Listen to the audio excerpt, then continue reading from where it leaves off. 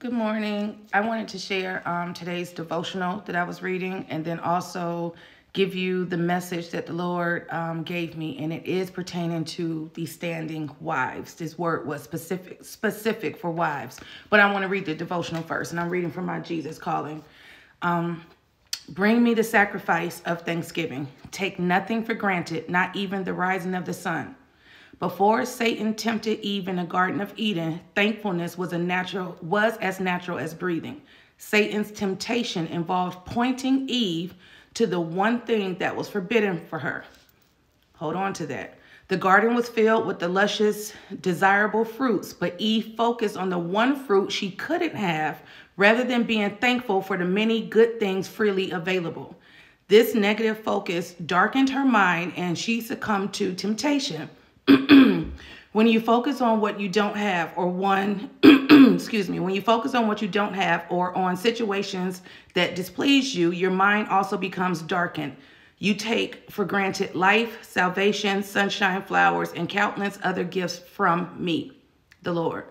You look for what is wrong and refuse to enjoy life until that thing is fixed. When you approach me with thanksgiving the life the light of my presence pours into you, transforming you through and through. Walk in the light with me by practicing the discipline of thanksgiving. Okay, that was today's devotional.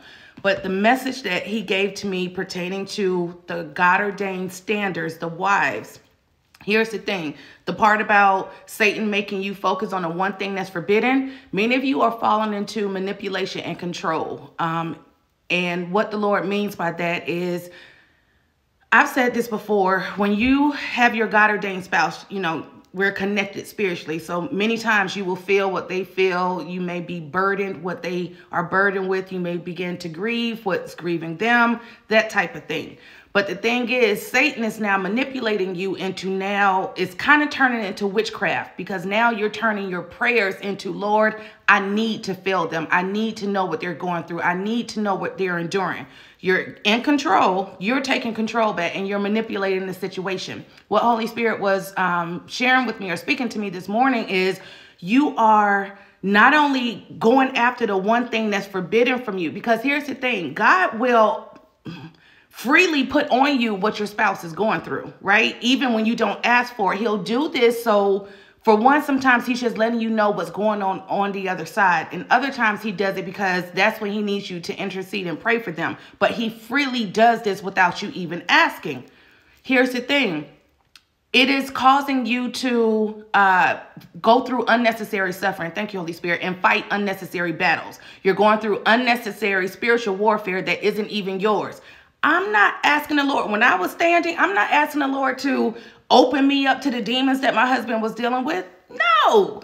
But you're going, Satan is having you focus on that thing because you're starting to feel like, and I even get messages from many of you that will say, like, I can't feel my spouse anymore. You got to understand that sometimes when God doesn't allow you to feel them, sometimes He's protecting you from what they're going through and what they're enduring. But now, when you're turning it into a form of witchcraft and praying, God, I need to feel them. Show me what they're going through. Tell me. It's almost like I see in a spirit, like, you know how a sorcerer or a psychic or something will look through like a crystal ball. Show me what there's what they see. Show me what they're feeling. Show me what they're going through. Show me what season they're in. When you're forcing this and you're in control you're opening up doors that weren't meant to be open for you. You're fighting battles and up against unnecessary spiritual warfare that was not um that was uh, not your portion. Thank you, Holy Spirit. So be mindful of that. Notice when I read in the devotion, it said Eve focused on the one thing instead of all the other things that the Lord had graciously given her. So instead of you saying, well, Lord, you know, I know I'm standing. I know I'm waiting.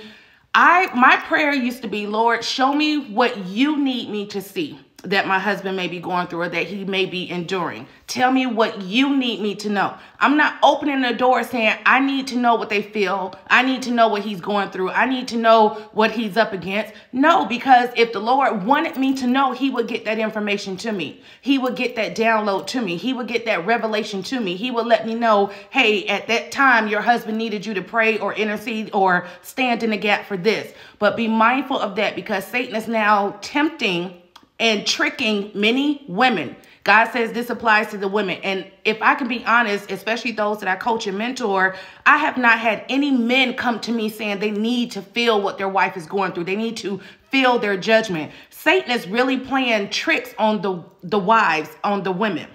You're even still being in control about your need to know. Remember, I told you once before that need to know got them kicked out of the garden.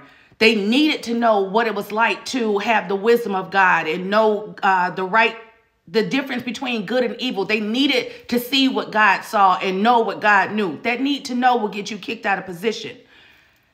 If this is you, repent. Ask the Lord to close any doors that you have opened up. Y'all, stop manipulating the situation because, again, sometimes God is not letting you feel or putting that on you because He's protecting you with what your spouse is going through.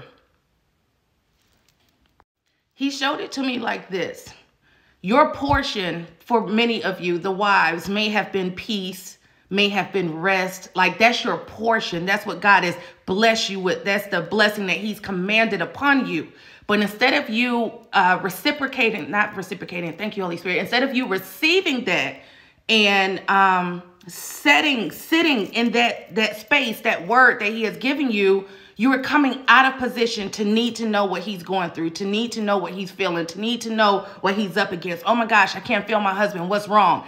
That's starting to sound demonic now. That's starting to sound like witchcraft now. Satan is, is playing these tricks on the women and many of you are falling for it. Many of you have already come into agreement with it. Many of you, you think you're in the right with it, but it's almost like a rebuke coming from the Lord, like come out of that place. My portion was rest for you in this hour. My portion was rest for you in this season. But instead, you're opening doors and you're taking on spiritual warfare that wasn't assigned to you. You're taking on battles that wasn't assigned to you. You're taking on burdens and just things that they're going through that was not assigned to you. If God is not allowing you to feel your spouse or is not putting that on you, thank you, Jesus. I thank you for that. Lord, if it's something you need me to know about my husband or need me to pray for, you'll get that information to me. But if not, I am not going to go open doors for something that you haven't ordained me to walk in, ordained me to fight, and ordained me to sit in. You're not graced for that. That is not a part of your assignment. That is not a part of your season. Many times it is, and it is when it comes from God. But now when you're manipulating it and you on, on this need to know basis, you're opening up doors that were never intended to be open. You're going through things that were that you were never intended to go through. And thank you, Holy Spirit, you're getting in God's way. Your prayers are being answered with that need to know, but you're getting in God's way. If He took that from you, if He decided, if that was forbidden, if that was the tree that He told you not to eat from, don't go eat from that tree of your need to know what's going on. Lord, I repent. I got out of position. I needed to know. I needed to know. Stop that. Come out of that. Repent for that and get back in position. When God wants you to know something, God is God. He can get whatever information to you that you need to know. But if you don't know it, you're not supposed to know it. We talked about this in another message a couple days ago. So come out of that place. Thank God for what you do have, for what he has done and stop focusing on that one thing. Like uh, the devotion was saying, you won't even enjoy what I've given you because you're so focused on that thing until that thing is fixed. You won't enjoy life until I bring that man back home. You won't enjoy the rest that I'm giving you until you're restored back to your husband. You're also falling into idolatry with that. So again, that's what the Lord placed upon my heart this morning and share with me um, in my quiet time with him. But I got to get back to my day. Y'all be blessed, and I'll see y'all next time.